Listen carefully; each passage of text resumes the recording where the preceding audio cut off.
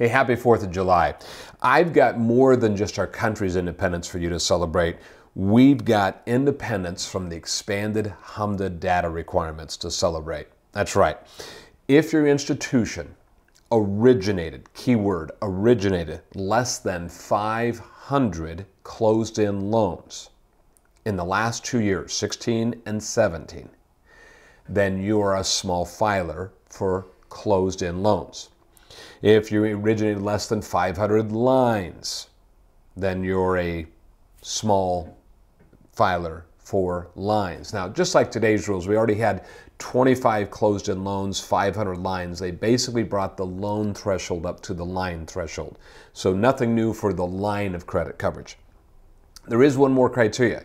You have to have at least a satisfactory CRA rating. So satisfactory in CRA you say, yep, we're good on that. We make less than 500 loans or we make less than 500 lines or both, then you are going to be exempt from the expanded HMDA data requirements for 2018. So in other words, we're just talking about what you've done the first six months of collecting and reporting. What do you do with all this stuff? We all knew regulatory relief was coming, but we didn't know what to do. That's what this is about. So if you meet that criteria, I'm going to call you a small filer. That's not an official regulatory word, but you know plain English here at Bankers Compliance Consulting, right? So you're going to still use the same coverage and the same exemption requirements that we've come to know for 2018. The threshold just got bumped up to 2000 or 500 for each loans and lines. Now I'm going to give you a little bit of sampling of the data that you won't have to collect or report. Total points and fees. That would be your loan costs, lender credits. There's five things there rate spread, prepayment penalty term, property value, introductory rate period. The non-amortizing features, there's four of those, balloons, interest only, negative amortization, and this other non-amortizing features, those are all off the table. The application channel, how was it received? Your SAFE Act number. Unique loan identifier. Now that's a little strange. They didn't say anything about the legal entity identifier. You're still going to have to have that. But the ULI, but you're still going to have to have some way to identify the application. It just doesn't have to be with the two digit, check digit, all that kind of stuff. Parcel numbers. So we're still going to do geocoding, but parcel number is not a requirement. Credit score. Now, this gets kind of complicated because they're talking about different sections of the Dodd-Frank Act and things that are removed and what's left and all this, but that's not a complete list. At the end of these two sections that the Regulatory Relief Act brought us, it basically says other information that the Bureau may require, and they removed that. We are right now going through what is the original Dodd-Frank Act requiring, what did the CFPB add? And we're trying to come up with an exhaustive list of things that you'll have to do. If you'll be patient, stay tuned. Now, I know that you're not going to want to even collect, for instance, credit score, maybe.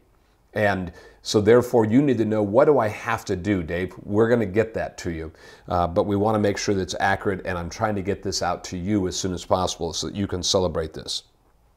All right. Small filers, you're still subject to HMDA. Make sure you understand that. This is just the 2018 data trying to provide some relief. And what the CFP, CFPB said they're going to do is you're going to use the same LAR and you're going to have these exempt fields now. So they're going to issue an updated filing instruction guide or FIG and it will have a code for I'm a small filer, this is exempt for me. So they'll be coming out with a new code with that. You're still going to submit your LAR through the same HMDA platform, and they are saying in this press release that a beta version of that will be coming out soon. Don't know exactly when that is, but obviously before the end of 18. They also said that there'll be more guidance coming for you. All right. Now, I'm starting to look at my crystal ball a little bit. This is just for 2018 data. There could be a different set of rules for 2019. We don't know for sure. But this is just what do we do with this six months of data that we already have. They're saying we're going to basically issue you a code that you can put, I'm exempt from that in these certain fields. So I want you to just celebrate, but also relax a little bit that there's maybe more things are coming yet. we're going to go through and figure out what the original requirements of HMDA were, what the Dodd-Frank added to that, and what the Dodd-Frank gave the CFPB liberty about, and we'll figure out what things of those we can back off. You, I know, want to be able to tell your lenders, hey, we don't need to do automated underwriting, for instance. That would be nice to not even have to collect it. And so we're going to get you that list. That'll be coming soon. More information guaranteed. So I just want you to, to relax a little bit Stay tuned, though, is the key to this thing. More information's coming. So we're going to take all this complicated stuff, we're going to turn it into plain English because that's what we do here at Bankers Compliance Consulting. Thanks. Oh, and congratulations.